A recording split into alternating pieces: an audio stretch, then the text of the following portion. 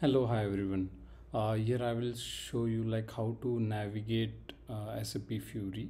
Okay, so here what you can see this is a free account which uh, free trial account from SAP.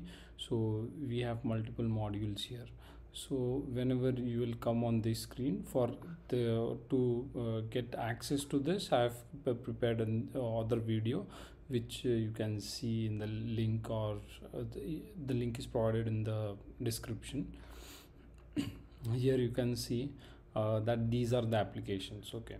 So uh, procurement has multiple uh, like applications other than this. So whenever you want to access some other application you just go here okay. Uh, edit uh, current page. Okay. So system will show you this. Now add tile. Now here you can see all of the applications for Fiori applications to which you have access. Okay. So like we'll go for materials management as uh, we are looking for that. So this this one is you have already in your uh, dashboard. And uh, something you want to add you just come here click on here. Okay it is added. This one is added. So like this you can go through multiple uh, applications and whichever you want you can just uh, click to add that to your uh, dashboard. Okay?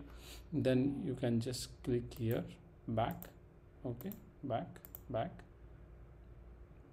So stock single material back.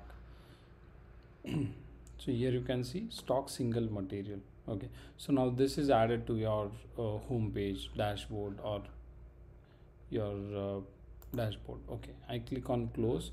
So here you can see now this particular tile. Now i can access it. Okay this is a very easy way to uh, add a tile which you already have the access. Okay? Thank you very much